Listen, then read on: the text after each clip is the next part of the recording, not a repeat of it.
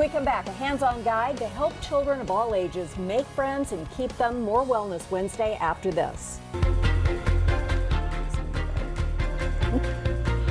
We all want our kids to thrive and have friends, but sometimes children lack important social skills necessary to form and keep relationships. Seeing that can really hurt our hearts and leave us wondering how to help.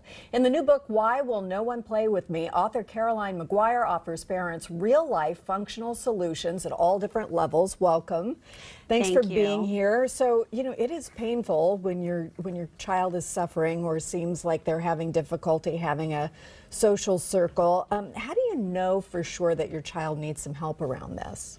So, a lot of parents ask me that question, and part of it is that we're all trying to figure out what's going on. So, one of my litmus tests is if your child cannot make new friends, right? We all go to different workplaces, we go to different places in life where we have to meet and greet new people.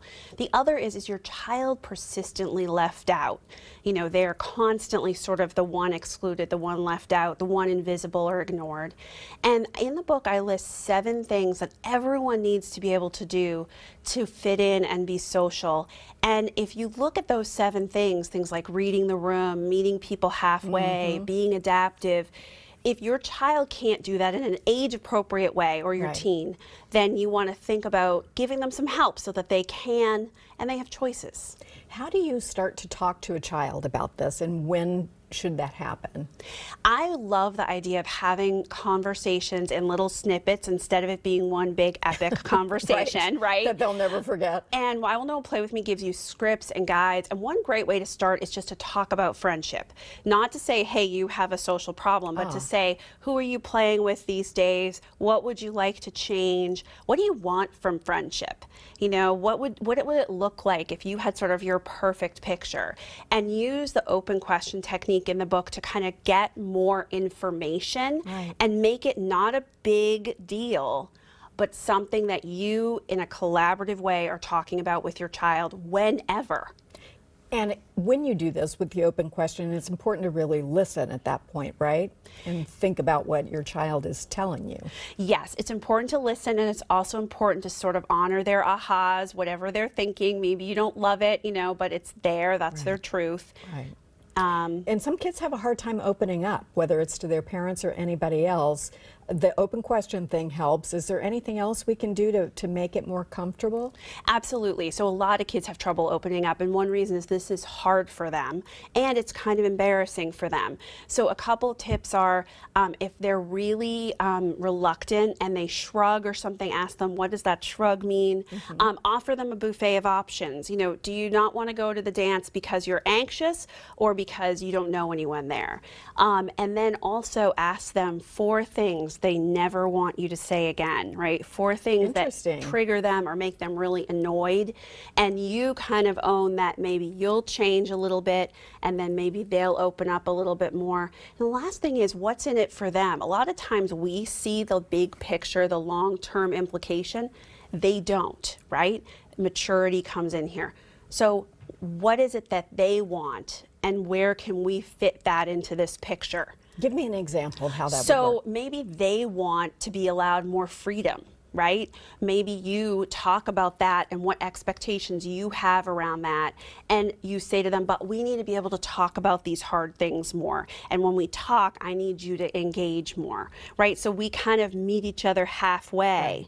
Um, the other thing is, sometimes kids really want us to. Um, you know, really stop talking about this stuff. and we really have to sort of say, is there a way we could do this that would make you more comfortable? But i really want to be able to talk to you. Um, and and this is why it's a little snippet conversation. It's not one big epic. It's in the car when the door opens a little bit and maybe they've had a frustrating day socially we step in and we have a little conversation and then if we feel like we need to let it go we let it go a little bit Let's talk about what kind of mindset we need as parents to Okay. do this. Because if your child is hurting, if they're not making friends, if they are feeling left out, obviously you feel bad. You hurt also. Um, you may think the other kids are being mean. You're not sure what's going on. How do you get yourself in a good, calm, constructive place?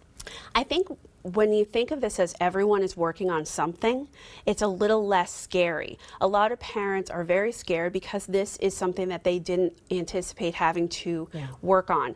But if you think about it, our brains do certain things well and easily, and then other things not as well. So your kid might be a genius at robotics and Legos, and this is hard for them. Right. And you know, we want to think of this little, little bit less scary, right?